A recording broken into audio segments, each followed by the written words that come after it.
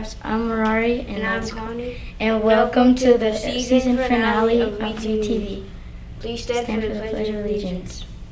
Place your right hand over your heart. Ready, begin.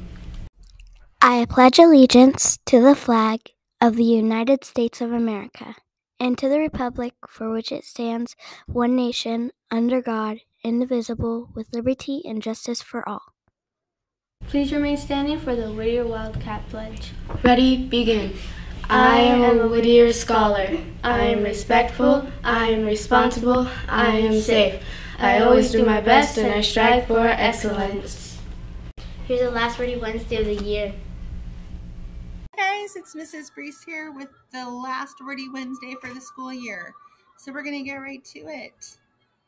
Remember that when I show the word, you're going to rate yourself on this rubric. One, you don't know the word, you've never even heard it before. Two is you've heard the word. A three is I can tell what the word means. And a four is I can explain this word to someone. So this is the word strive. Strive. We say this word every day when we recite our Wildcat Pledge. Strive. So I, you're at least a two. What do you think this word means? Lock in your rating? And let's talk about it. The word strives, here are some synonyms or words that are similar. Means to attempt, to try, to plug away. In fact, when I was looking for looking up synonyms for this word, a lot of the words involved work, like labor, or dig away, or plug away, or exertion, which tells me this word strive means we're going to have to work really hard. So here are some def- here are some words that define phrases or words that define to try hard. And that doesn't mean just trying hard one day and saying, "Okay, I did it." It means it's persistent, it's consistent. You do it over and over again to strive. Another way to define strive is endeavor. Endeavor means that you're going to attempt to achieve something. You're going to work really hard to achieve something, a goal. So those are very similar to strive. And then serious, determined effort. So this is serious stuff. When we are talking about striving or we want to strive for something, it's a goal that we set and it's something that we really want to work hard to achieve. So one of my goals for this summer is I want to learn ASL, American Sign Language. I think it would be a really fun thing to do.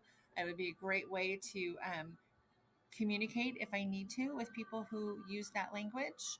And so my daughter and I are going to take a class together. We're going to strive to learn a new language. We're not just going to do it once, we're going to work really hard. We're going to a- attempt to achieve a goal. Our goal is to learn how to speak or you uh, speak ASL or use um, um, ASL in communication. So that'll be interesting.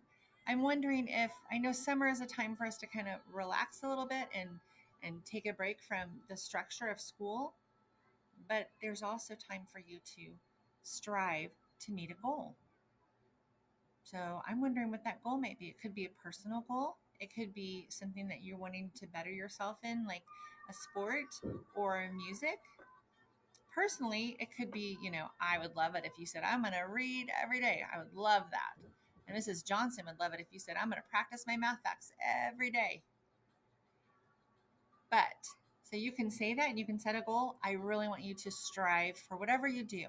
If your goal is to relax, then I want you to strive and work hard to relax. Okay? It's been a great year, you guys. I've loved being able to be part of Whittier, and I'm just so thankful that we um, get to communicate together. And I'm hoping that we continue to do this next year. I hope you have a lovely, lovely summer. See you soon. Thank you for watching the season finale of WeTV. And as we say goodbye to the fifth graders, we hope they have an amazing time in middle school. I hope with, I, we hope WETV is as fun for the fifth graders next year as it was for us this year. Have a beautiful day and enjoy the last season, the season finale of What's a Weird coming up Right now!